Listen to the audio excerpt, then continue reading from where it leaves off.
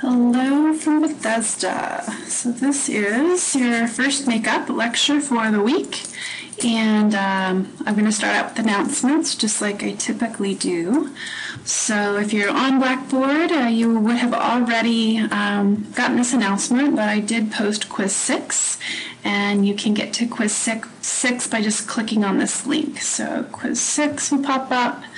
And uh, as a reminder, that's due to me um, by the end of the week, and that is on the material from last week. So, um, so you should be good to go. Except for we do have a couple of slides left to finish up that I'll start off with um, right now, actually.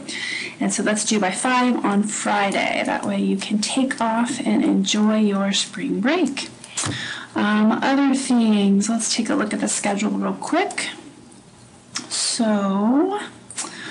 Uh, so I'm going to lecture now on 7.2, which is uh, another section on confidence intervals.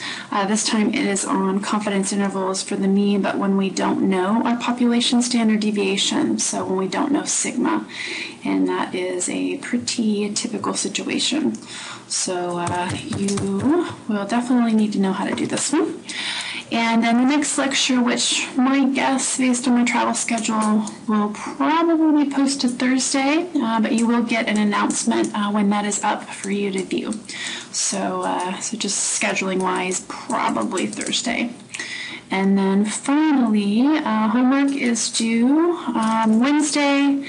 Uh, if you guys need any extra time, just shoot me an email. I can be lenient on that one. You guys do have a, a, little bit extra time, but I also don't want you to have to work on it over your spring break. So, so try to get it done.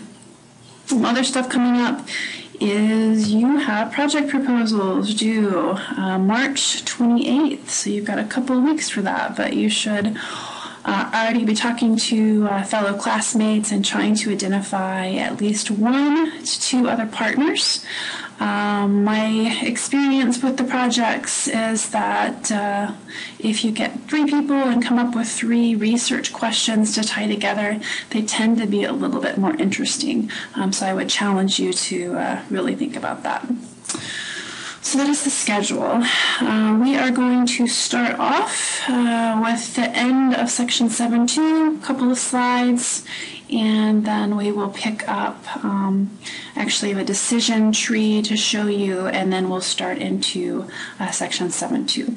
So that is the plan. Video lectures, so feel free to pause and uh, come back whenever you want. So, uh, Section 7.3, I had left off and we had gone through and constructed confidence intervals for proportions. And we had ended, and I did not quite get to so slide 35, where I was talking about um, calculating sample sizes, so for study design. So similarly, uh, with our um, study design for a mean, if you're interested in estimating a proportion and you're planning ahead, you're going to want to know um, what kind of sample size you need to collect, for a certain level of precision.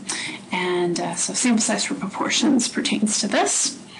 When we have a formula, again, it's essentially you take your confidence interval, you figure out what level of precision you want. That's our E. So right here, our E and you solve for that from your confidence interval, and then here's our formula. So with an estimate of P, um, an estimate of Q, let's see, uh, our critical value, so how much confidence do you want? Uh, what is your level of precision you want to be estimating within? And then this formula will give you a, the sample size that you would need. Okay, the one thing that's a little odd is that, so you're going to estimate sample, um, you're going to estimate your proportion with a sample, but you're using a proportion here in that estimation. Um, so if there's no prior evidence that you'd actually know what that proportion is, uh, we use the worst case scenario. So this is common. Uh, so if you don't have a prior estimate for your proportion for study planning, so from a pilot study, say, then you use a p of a half. Right? So that that ends up giving you the largest sample that you would have to collect. So again, worst case scenario. So as an example, uh, let's say we want to uh, estimate the true proportion of college students who do laundry once a week, and we want to be precise within 3.5%, and we want to be 99% confident. And uh, let's say we had a previous study or maybe another study at another university that said that that proportion was around 75%.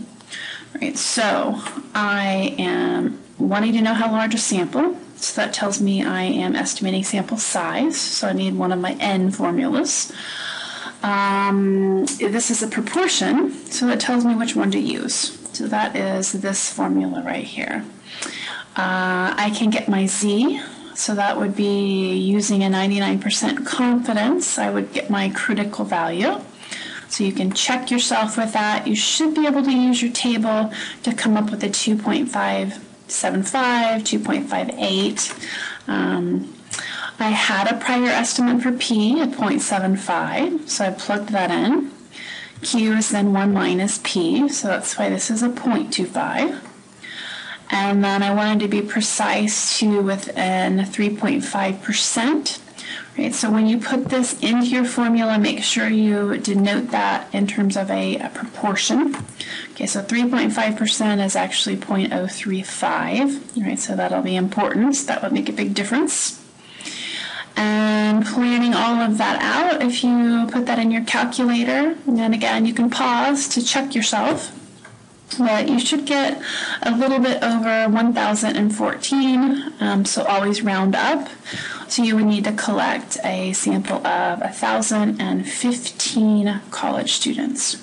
So that would allow you to estimate the true proportion within 3.5% with 99% confidence.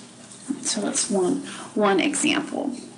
Um, so another example, and I would encourage you to pause and see what you can do with this. So I've got a researcher, they want to estimate the proportion of executives who own a car phone. Oh, that sounds old. Um, and she wants to be 90% confident and be accurate within 5% of the true proportion. Find the minimum sample size necessary. Right, so again, I'm estimating a proportion. I want to figure out sample size, so that tells me that I need to use this formula. And I know my E, I can figure out my Z. Um, I'm not given P and Q, so worst case scenario then is to use a P of a half. Right, so I'm going to ask you to then pause that and see what you can figure out.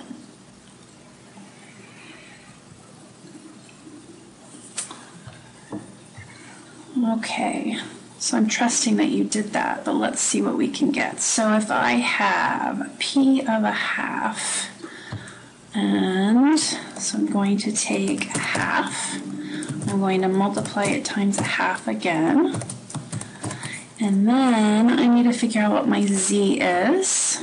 All right, so I'm going to pull up my z table. Let's see. And I need the other side of my z table. So my confidence level was what? 90%. So 90%, which means I would have 5% in each tail. So if I'm looking that up, that means I am finding the z value that has 5% above it and 95% below it. So that value is going to be right around here. And uh, I am going to, so I could average in between here, but let's round up uh, since that's what your homework has you do. So 1.65. So that is going to be my critical value. So 1.65, and then I have um, accuracy within 5%, so that's 0.05. And then I am going to need to square that. Right, so I am calculating that, that's what I want. So 0.5 times 0.5, and then times 1.65 times 1.65 divided by 0.05 divided by 0.05. So I'm going to get 272.25, which you would then round up to 273. Right, so putting all of those together, that is what I get. So worst case scenario, that's why I have the 0.5 as my P. Um, 1.65 is my Z critical value. Um, I want to be within 5%, so that's where the 0.05 came from. So when you went through all of those calculations, you should come up with, rounding up, that you would need a sample size of 273. And that's it. So that will get you um, sample size needed for proportions. And again, the big thing is if you don't have an estimate of that proportion, um, worst case scenario, just use um, a half, and that will give you the largest sample size that you can need. And that wraps up section 7.3. All right, I'm going to go back to our Blackboard screen and um, show you where to get a couple of other pieces that you're going to need for the rest of the this particular video lecture. Um, so if you go into your lectures tab, and you'll notice, um, so I will post the video link here, um, but uh, obviously I'm recording it right now, so the slides are right here, so you can get to that. And then I also went ahead and put up the T-table if you want to pull down an electronic copy to use. Um, but first, I was going to show you a decision tree that might help.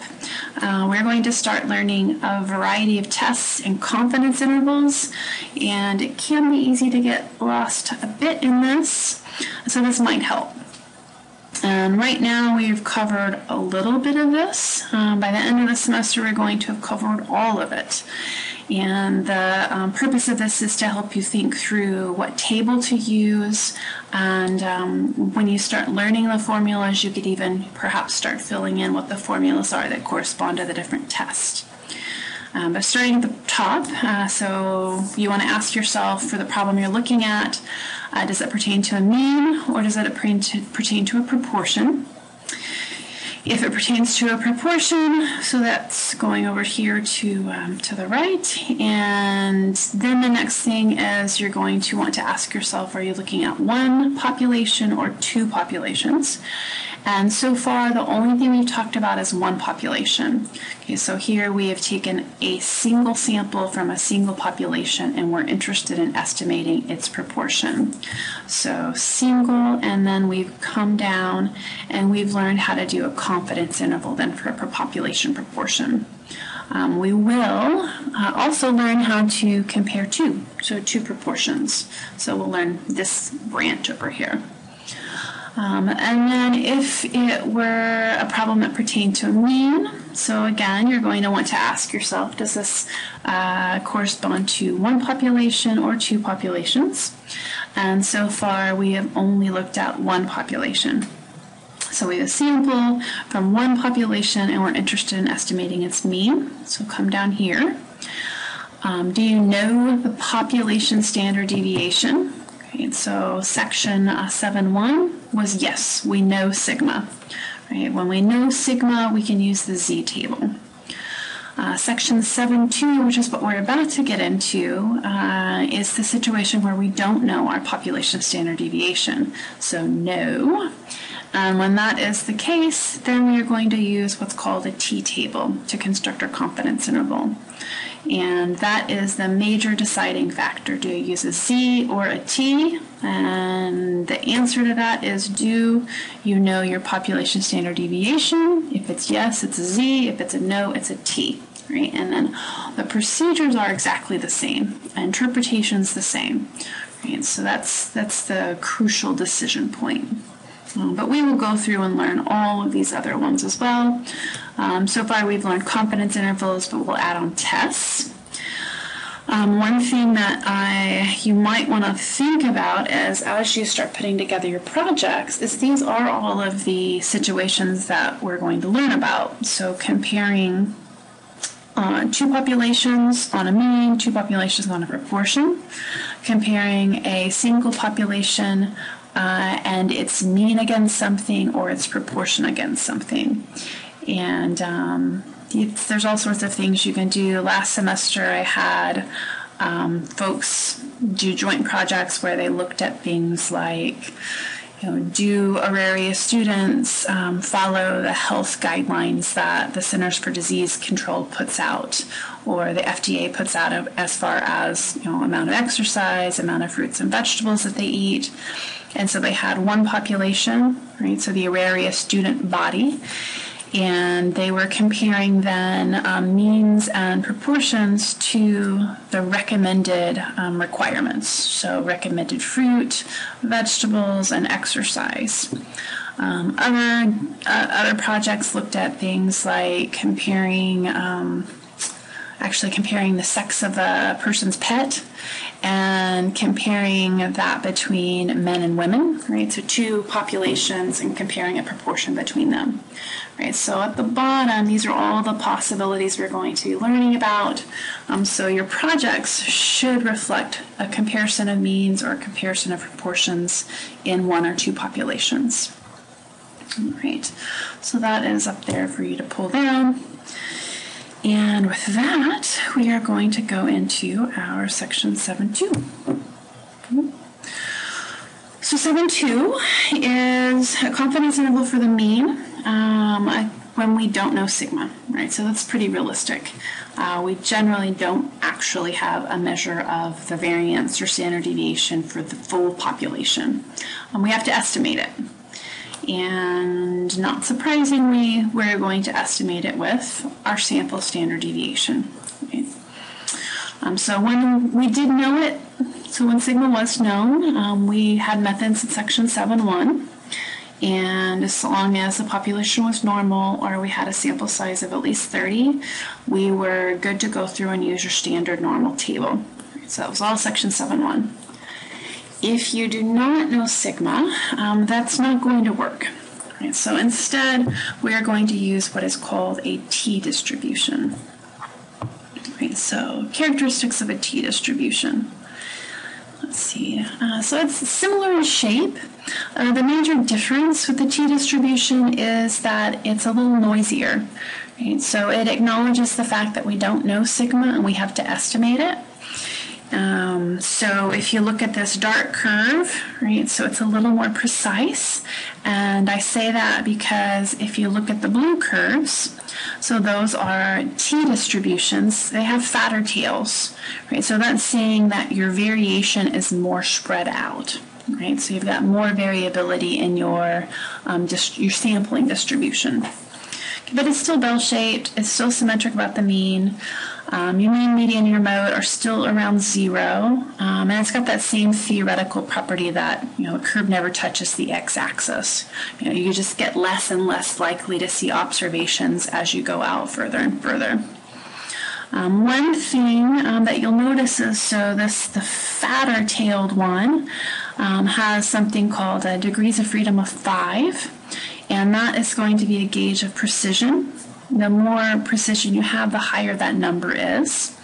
And if you notice, so for a T uh, with 20 degrees of freedom, you actually start getting, as you get more and more information, the T distribution looks more and more like your Z. Right, so we'll see that when we start looking at our tables as well. Um, a couple of ways in which it differs. So the variance is greater than 1. Right? So with the standard normal, we had a mean 0 and a variance 1. Um, with a t distribution, it's noisier. It's, it's taking into account the fact that we have more to estimate.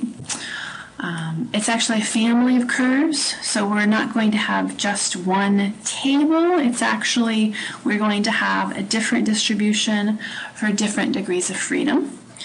Um, and then, so the curve changes depending on the degrees of freedom. So the smaller that is, the fatter the tails are, um, the larger that gets, the more the tails pull in and start to look like a standard normal. And that's the last point. So that's just a blow up of, of that. So you can see that a little bit better. Um, so a T of five actually with five degrees of freedom is not have does not have a lot of data. And so the fat tails are spreading out your variability and acknowledging that. Whereas 20 degrees of freedom has quite a bit more information and so it's it's getting closer to your standard normal. Right, so degrees of freedom. Um, of an odd concept. It it has to do with precision. It has to do with uh, the number of values in your sample that are actually free to vary once your statistic has been computed. Right, so the the best way for you guys to probably think about this is to think about your mean. Um, or instead of your mean, let's think about the sum. Okay, so it's a little, little simpler perhaps. Okay, so if I told you you had five values and I told you that the mean of them um, was 10, right? well, then I would know that if I summed all of those values, well, they'd sum up to 50. Right? So the sum of the x divided by my sample size was 10, which means the sum is going to be 50. So degrees of freedom says, well, if I know my sum is 50, how many of my observations can change? Well, they can't all change because if they all change, then that sum is no longer going to be 50. Right? What actually can happen is that four of them can change. So I can take my first four observations and I can change them however I like. But if my sum is going to be 50, right, then that last observation is completely determined by the fact that the sum is 50 and then I know what my other four observations are. Right, so that's why it's called degrees of freedom. Right, so given your statistic, how many of your observations can vary? Um, so for our um, for one population and for the confidence intervals that we're constructing in this section, okay, we just have one mean. And so what that means is that once you calculate it, you can vary all of the observations except for one. Right, so our degrees of freedom are actually going to be n minus 1. So we're going to use that in our formula. And the formula for the confidence interval should look pretty familiar. Um, the differences being, okay, so we have our sample mean plus and minus. Okay, difference, we have a t critical value instead of a z. We don't have sigma, we have to estimate it. So we're using our sample um, standard deviation. And then we have same as square root of n. Right? So two big differences. We had to estimate sigma, which means we use our t distribution. Um, table F is where we're going to get those t multipliers. I also wrote it out in a shorthand right here with the plus minus, and then just to you know, demonstrate that what that means is that you're going to have the lower bound that's found by subtracting this value from x bar, and the upper bound that's found by adding that value to x bar.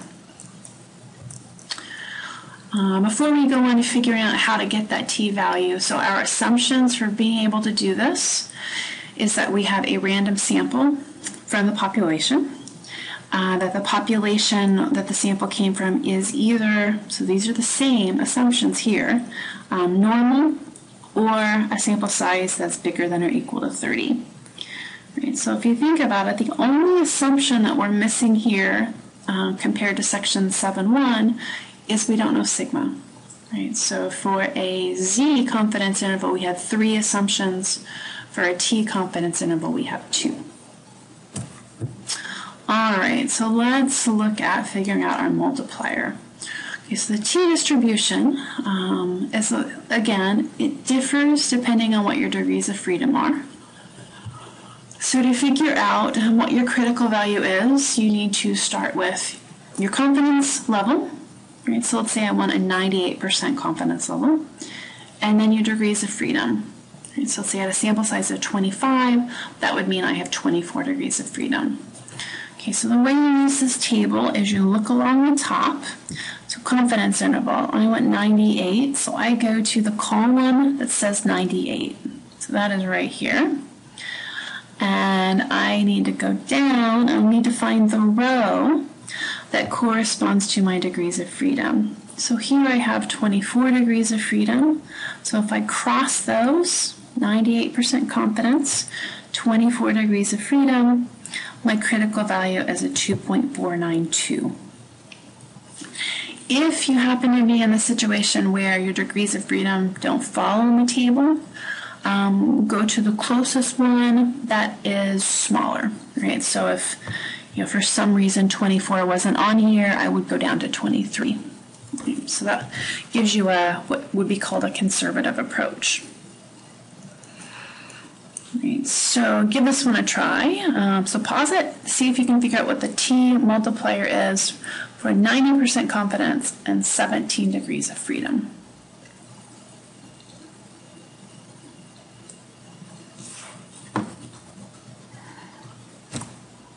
Okay, so let's check what you did.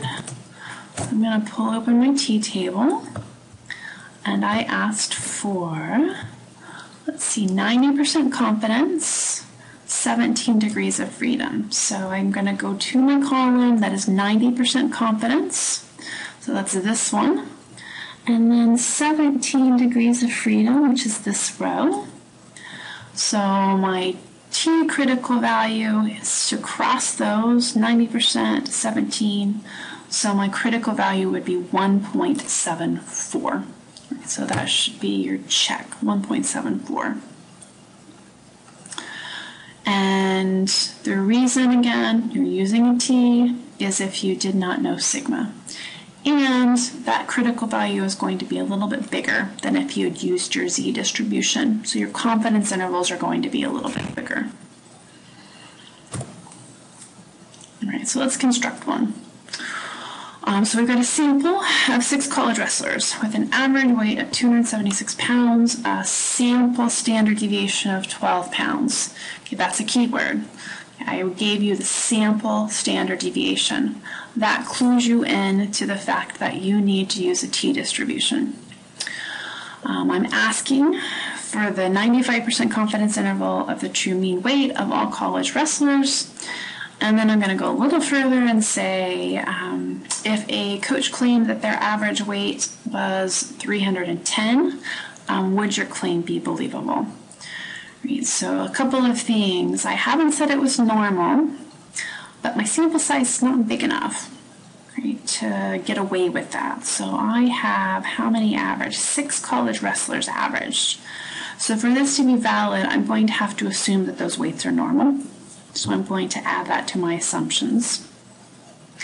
Pulling out information, I have x bar, which is 276. I have my sample standard deviation, which is 12. Again, that's S, that is not sigma. Since that is S, I need to know my sample size so I can get my T critical value. So N is 6. And degrees of freedom are then N minus 1. So degrees of freedom are 5. So 95% confidence, 5 for degrees of freedom. So if I look, so 5 degrees of freedom and 95% confidence. So my critical value is a 2.571, which is where this came from right here. I'm using my formula, so I've got my x bar, um, plus and minus, so the t critical value I just pulled up, uh, my standard deviation for my sample, so 12, uh, divided by the square root of my sample size. I multiply these three things out, so 2.571 times 12 divided by square root of 6. That is what comes out to be this 12.59, um, 528. I'm going to subtract that first from 276. I'm going to round the same precision of my mean. So that's where I get the 263. And then I'm going to add it to the 276, which is where I get the 289. And so this right here is my 95% confidence interval. And so what I can say is that I'm 95% confident that the average weight of a college wrestler is between 263 and 289 pounds. So if the coach then claims that the weight of his team, um, the average weight was 310, right, well, that falls outside of our confidence interval. Right, so I would say that that would be hard to believe because it's not consistent with our data.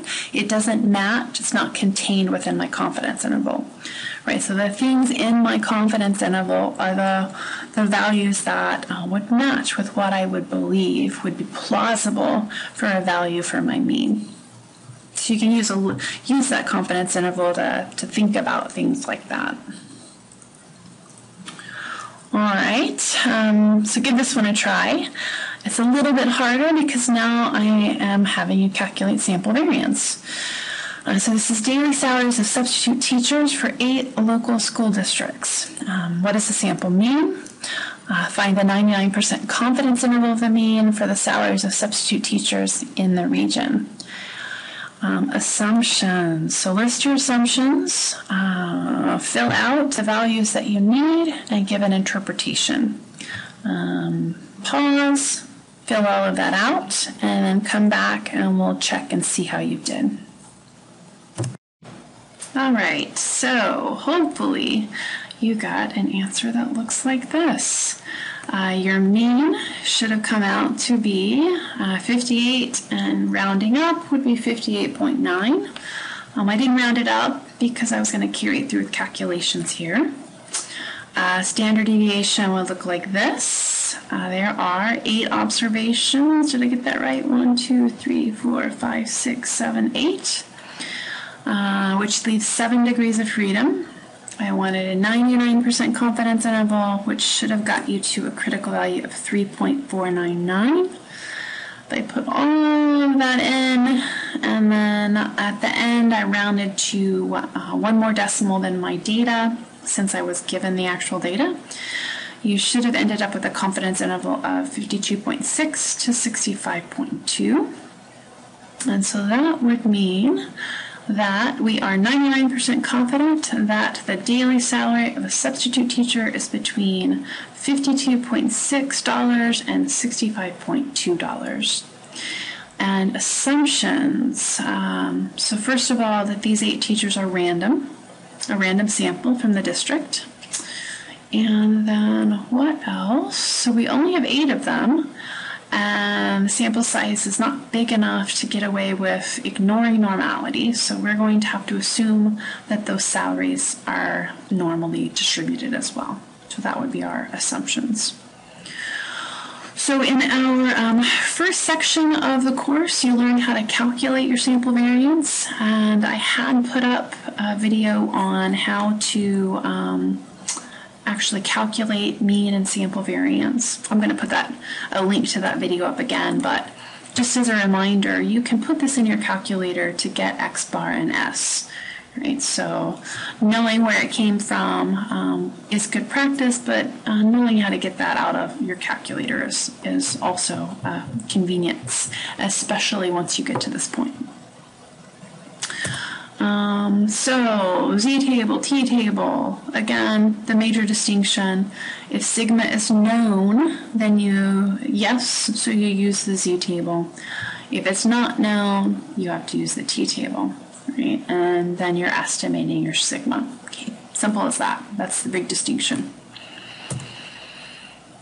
So some extra calculator help. Um, entering data. So this is the same video I put up previously in um, in the semester. So you can link to that if you had not watched it before.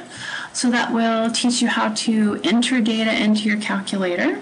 Right, so this will be necessary for what I'm about to show you, which is how to actually use your calculator to get your confidence interval. Um, it this particular video also shows you how to do one variable statistics, so that will get your uh, sample standard deviation S uh, as well as your X bar. So you can test that out by clicking on that link. And just as a reminder, that's also under our videos link on Blackboard, so you can always go there for a quick reference. Uh, using a calculator for confidence intervals um, when your mean is unknown. So you can also do that in your calculator. And um, two ways. So we went through two examples. Uh, the last one, we were given the data, so I had to calculate um, X bar and S. Well, your calculator will just take your data and do the interval for you. Um, same thing for, you can also calculate it directly from your statistics. So your calculator could do that as well. And um, so the video for doing this is linked right here. So that's for when sigma is unknown. Um, so I'm going to encourage you to pause this video and click to that, and that will take you to the YouTube link so you can learn how to do that in your calculator. When you are back, um, so also if you want to go back and learn how to do this when sigma is known, um, you can do that in your calculator as well. Um, similarly, you can do it when you have data versus when you have statistics. So when you're given the X bar. And we had previously gone through this uh, reading scores example, so we computed this in class. So this would be a good one for you to use um, to go through. And um, this video will uh, show you how to do that in your calculator. So I'd encourage you to pause this, um, click on the link in your um, lecture notes and open that up and um, learn how to do it with your calculator. And then finally, uh, a couple of other videos that might be useful for you. Um, if you want to get your T critical value from your calculator for your confidence interval, uh, there's a video for doing that. And there's also a video for how to get your Z critical value. Um, and again, all of these are under our videos, video links. Um, there's nothing wrong with using the tables, so by all means, if you want to just use the tables, please do so. Um, but if you know you practice a couple of times and you decide, ah, I'm tired of using the table, and you want to, you are perfectly free to just do, go directly from your calculator. There's no need for you to actually use the table at all. And that is it. Um, so uh, let me know if you have questions. Uh, I will be back in town Thursday morning, and like I said, probably will have the other lecture up um, Thursday uh, by the end of the day. That is my goal. So uh, happy YouTube video watching, and good luck with your calculator, and have a great well, not spring break yet. Um, but don't forget, quiz six is due, and look for your next video that I will send you an announcement for. And I will see you soon. Bye.